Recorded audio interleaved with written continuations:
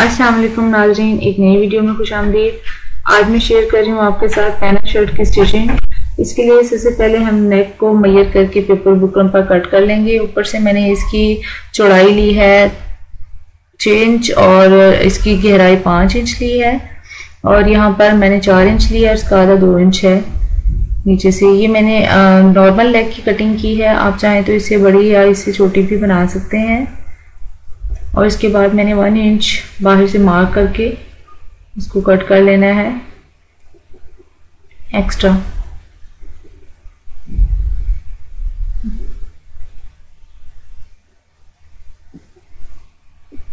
और paper buckram को मैंने फैब्रिक पर अटैच कर लिया। आयरन की हेल्प से इसमें जो चमकदार साइड होती है, वो आपने अटैच करनी है। और साइड्स को भी आयरन से मैंने फोल्ड कर लिया है। मिड भी करके मैंने आयरन से इसकी एक लाइन बना ली है मिड की और इसी तरह मैंने शर्ट की भी आयरन करके मिड की लाइन बनाई है और इन दोनों को आपस में अटैच करके बिल्कुल स्ट्रेट पिन अप कर लिए हैं ताकि स्टिचिंग के दौरान जो है वो इधर उधर नहीं हिले और कोई प्रॉब्लम नहीं हो। सबसे पहले हम मिड में पिन लगाएँगे, उसके बाद साइड्स पर मैंने जो नेक की बनाई है डिज़ाइनिंग इसमें मैंने फैब्रिक यूज़ किया है नीचे और ये फैब्रिक मैं साथ ही अटैच कर रही हूँ। इसमें टाइम सेविंग हो जाता है। अगर आपको मुश्किल इस तरह ये मेथड लगे तो आप अलग से पहले ये फैब्रिक अटैच कर लें, निशान लगाकर मिड में और उसके बाद आप ऊपर की नेक बनाएँ।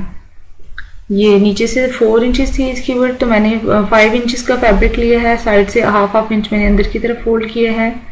फोर इंचेस ऊपर से और टू इंचेस नीचे से इसकी रखी है मैंने।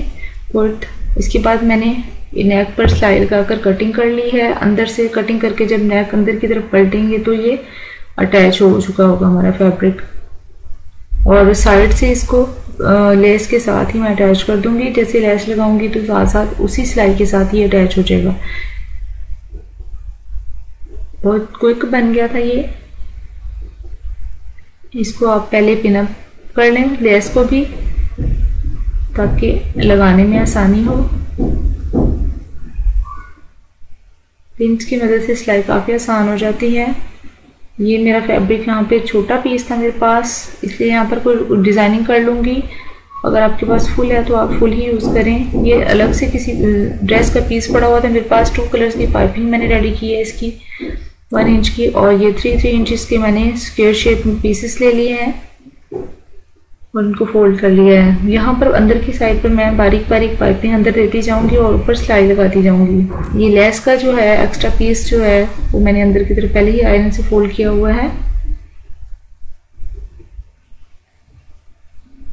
इस तरह से पाइपिंग लगाना बहुत ही आसान है। न्यू लर्नर भी इजीली लगा सकते हैं।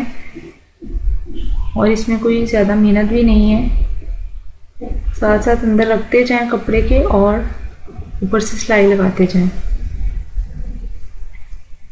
दोनों साइड से ऐसे ही मैंने पाइपिंग लगाई है नेक की। और इस साइड से बाहर वाली साइड से भी हमने इसी तरह सिलाई लगानी है और साथ साथ मैंने जो स्क्वेयर शेप में पीसेस कट किए हैं, वो पीसेस अंदर अटैच कर देने हैं। यहाँ पर मैंने एक साइड पे टू पीसेस अटैच किए हैं और दूसरी साइड पर ओनली वन पीस अटैच किया है। आप चाहें तो इसे ज़्यादा भी लगा लें, लेकिन इस तरह से स्टाइलिश लुक आई है नेक की।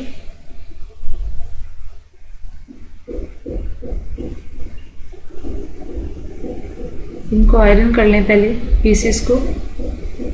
तो ये नीट बनेंगे। दूसरी साइड में मैंने एक ही पीस लगाया है।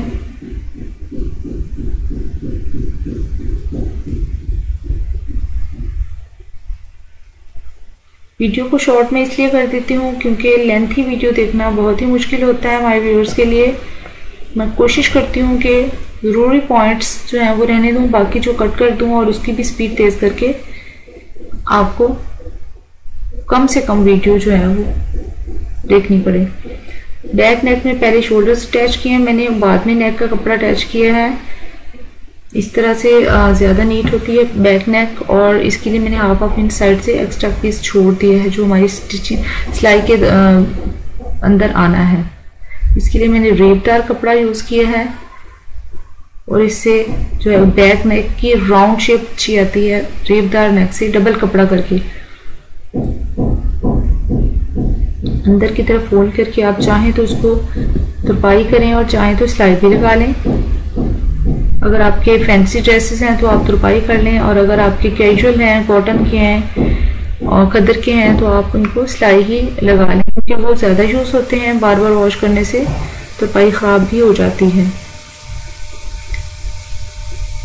अब हम आर्म पर जो है वो आगे लेस अटैच करेंगे और वो पीसेस सबसे पहले हम पाइपिंग के लिए जो है मैंने कपड़ा बैक साइड पर लगा लिया है और ये गुम सिलाई वाली पाइपिंग है। इस तरह से पाइपिंग लगाने से हमारी सिलाई ऊपर नीचे दोनों तरफ़ नज़र नहीं आएगी। पहले ये देखिए इस तरह करके ये अंदर की तरफ़ फोल्ड होगी। ये बैक साइड पे मैं लगा रही हूँ। आप इसको पाइपिंग के साथ ही लेस भी अटैच कर सकते थे, लेकिन यहाँ पर मैंने सिखाने के लिए आपको पहले पाइपिंग अटैच की है और उसके बाद यहाँ पर ऊपर रखकर लेस अटैच की है, ताकि अच्छी से समझ आ जाए। और साथ साथ मैंने ये पीसेस भी ज्वाइन कर दिए हैं। यहाँ पर बाजू में मैंने एक जगह पर टू पीस ज्वाइन किए हैं, फिर थोड़ा स्पेस देकर वन पीस और उसके बाद भी थ्री पीस ज्वाइन किए हैं। आप अपनी मर्ज़ी से चाहें तो सारे पीसेस ज्वाइन कर लें। लेकिन इस तरह से ये लुक अच्छी लग रही है।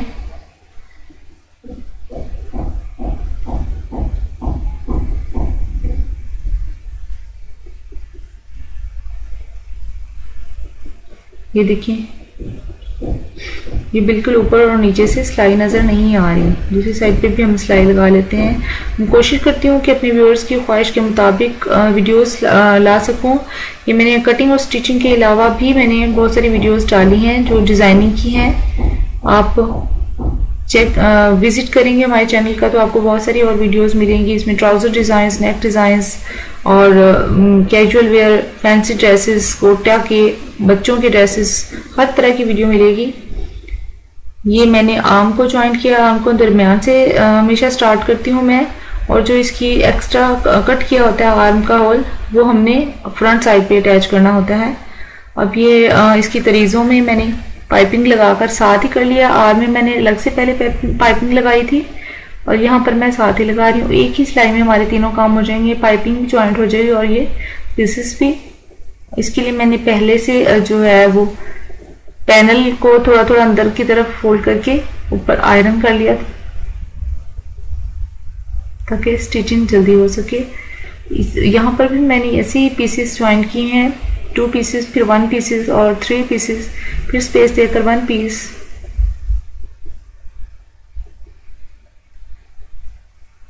और ये बैक साइड पे मैंने जस्ट पाइपिंग ही लगाई है। पीसेस ज्वाइन नहीं किए।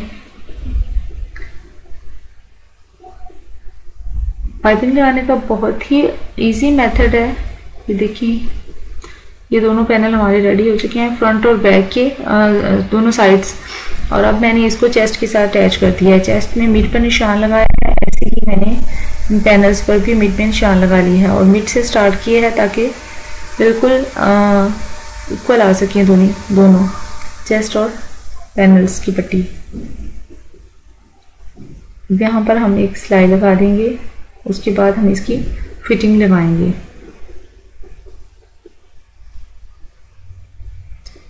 आर्म्स को मैं फ्रंट से यहाँ पर हल्का सा अंदर की तरफ़ फोल्ड करके ऊपर सिलाई लगाती हूँ। इस तरह से कुछ और करने की ज़रूरत नहीं रहती। सिलाई में ये जो सिलाई वाला निशान है आपका आर्म्स का शोल्डर्स का, ये अंदर की तरफ़ करते हैं बाजुओं की तरफ़। नीचे मैंने इसकी पट्टी लगाकर अंदर की तरफ़ फोल्ड कर लिया है। ये वही फैब्रिक है जो बचा हुआ मेरे पास पीस है, जिसकी मैंने पाइपिंग रेडी की है। इसको अंदर की तरफ़ मैंने सिलाई लगा ली आप चाहें तो यहाँ भी तुरपाई कर सकते हैं और सिलाई भी दोनों तरह जो आपको पसंद हो। और एंड में यहाँ पर जोड़े, यहाँ पर मैंने तुरपाई लगा ली है। तुरपाई कर ली है। अब इसकी नेक जो रह गई थी, इसके ऊपर मैंने एक बीट लगा दिया है बड़ा सा। मार्केट में आपको हर तरह के बीट्स मिल जाते हैं, जो भी आपके कलर्स कम्बिनेशन हो, आप वहाँ पर लगा लें। और ये मैंने स्टाइल बनाया है, छोटे बीट्स के साइड पर लगाकर। इससे थोड़ा हमारा ये बड़ा हो गया है, ये।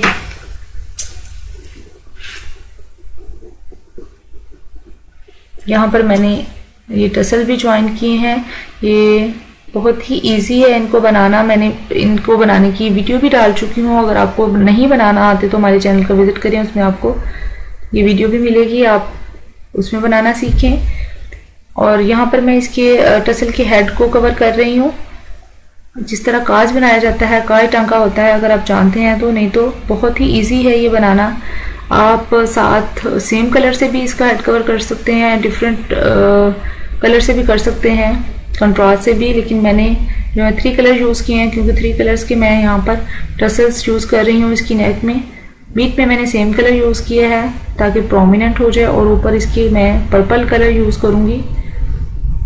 और उसके बाद इसके अंदर एक बीट अटैच करके मैं शर्ट के साथ अटैच कर दूँगी। ये देखें, बहुत ही खूबसूरत लोकेशन है इसकी। इसी तरह मैंने और भी बीट बनाए हैं टसल्स बनाए हैं सॉरी चार टसल और अटैच किए हैं।